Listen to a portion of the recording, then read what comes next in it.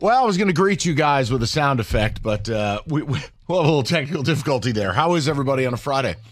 There. That's the chair drop just works, man.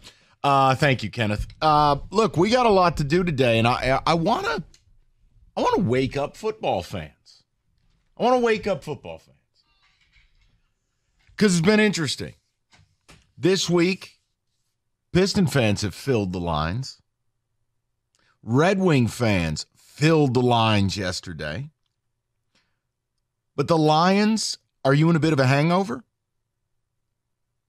NFC North champion, you overdo it a little bit?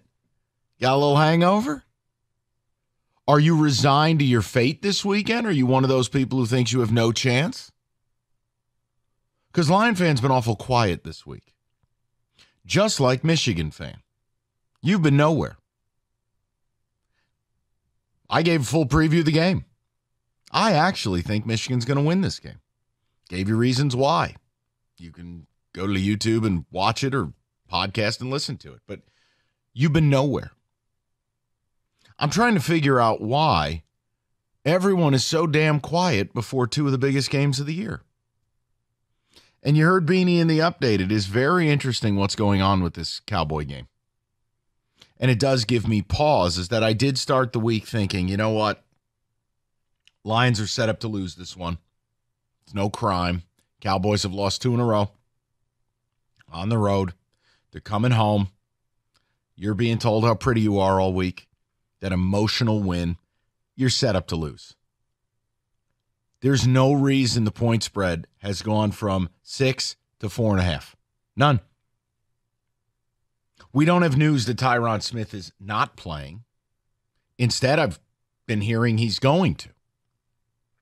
We don't have planet Earth betting on the Lions, right? We don't we don't have this huge thing where naturally the line would get smaller cuz everyone's picking them. That's not happening.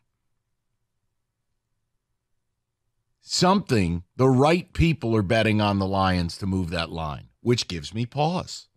You can laugh at that stuff. I know the the dim-witted some listeners, some people at this station don't value betting data and they miss out because sometimes things just go a certain way and it gives you an indication of how it will play out. I just would love to know where Lion fans are. I'd love to know are you being quiet because you're content? Are you quiet because you're scared bleepless that the good vibes are going to go out the window and the Cowboys are just going to pound your bleep into the dirt? And if you're a Michigan fan, I don't know. Are you scared? Is that what this is? I mean, I don't think you should be scared. I wonder if the game is actually scaring you or if narratives are. Oh my God, it's Bama. And? Oh my God, it's Nick Saban. Here's the difference Bryce Young's not coming out of that tunnel. Julio Jones is not coming out of that tunnel. Mark Ingram Jr., Derrick Henry, they're not coming out of that tunnel. This is a good Alabama team. I don't think it's a great one.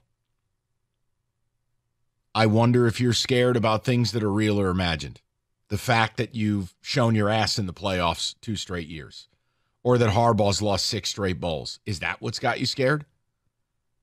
I'd say is it the logo on the other helmet, but Bama doesn't have a logo. They just put numbers there. But you get my point. Is it who you're playing?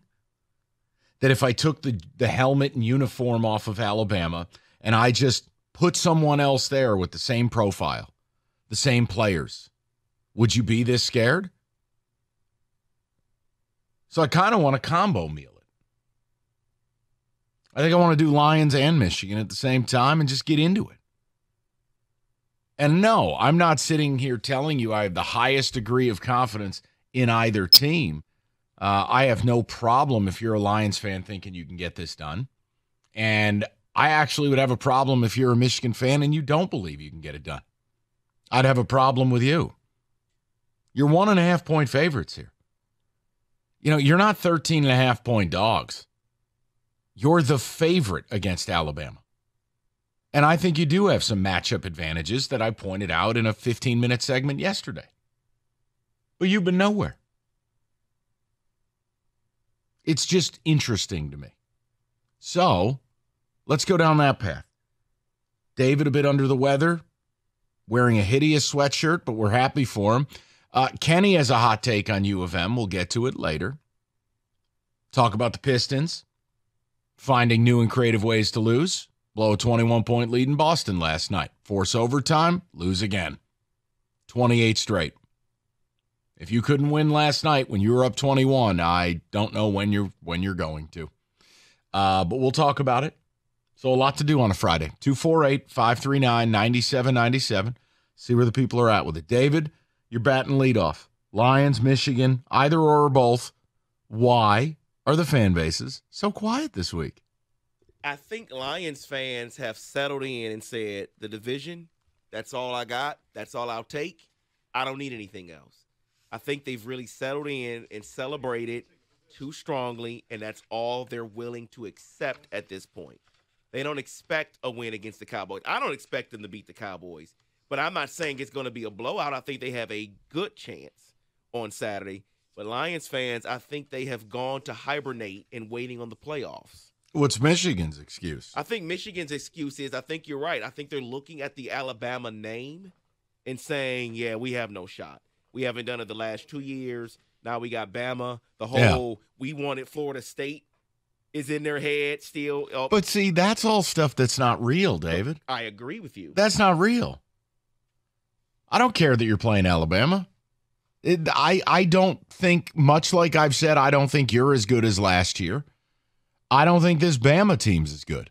Correct. And you have certain advantages that I I don't understand why you'd be afraid. See, and, and that's the thing, because when we talked about it yesterday, I came on here and I told you, I don't think Michigan wins, but I don't I'm not scared of Alabama. I'm not saying that it's going to be a blowout. There's a chance for Michigan to win. I just don't think it will happen. But there are some out there that that I believe in. Oh, it's Bama.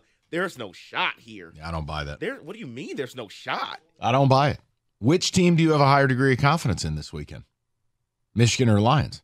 Lions. Really? I do. I do. Something about the Cowboys just doesn't sit right with me their last couple games.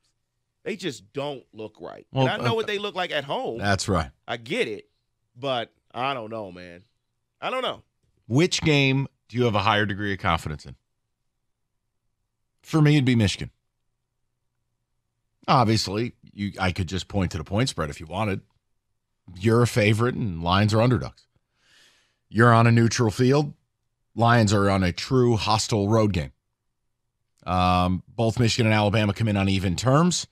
You come in off an emotional high. Dallas comes in off an emotional low. Like I can give you reasons. But I, I don't look at this Alabama team the way I've looked at other Alabama teams. I don't look at this Alabama team the way I looked at Georgia. Oh, well, Alabama beat Georgia. Right in that one particular game, one 60 minute period of time, they got it done on that day. Yeah, because matchups matter. Right. If Georgia and Alabama play 10 times, I think Georgia wins seven or eight of them. They got Georgia all kinds of banged up. They got Georgia missing some guys. And on that day, they were able to do something to Georgia that really nobody does. They bullied them, they won the line of scrimmage. But overall, would I pick you to beat Georgia? No, I would not. But I think you can beat this team. I am more confident in U of M than I am the Lions. And maybe I have it backwards. Or maybe they both win. Maybe both get thrown in a garbage can.